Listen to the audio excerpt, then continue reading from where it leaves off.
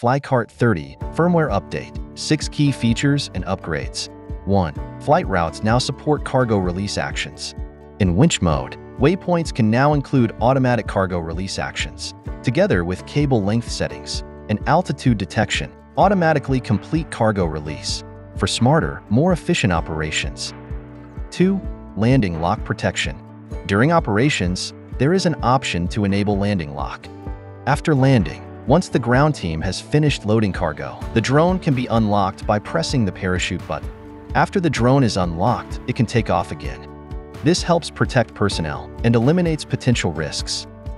3. Flight Data Assistance DJI Delivery Hub and DJI Pilot 2 now have a brand new flight data assistance feature. It helps optimize route planning and flight habits. Flight data is clearly presented, with quick access to warnings. 4. Route Battery Consumption Estimation. This new feature in Delivery Hub estimates battery consumption for flight routes. It measures cargo weight, wind speed, and direction to estimate battery usage and route viability. 5. Cargo Swing Optimization.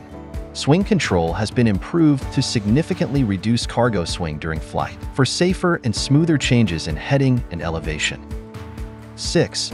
Open Ecosystem Upgrades ePort Lite now includes support for control and planning functions. Delivery Hub Cloud Connectivity has new operation-related interfaces for next-level openness.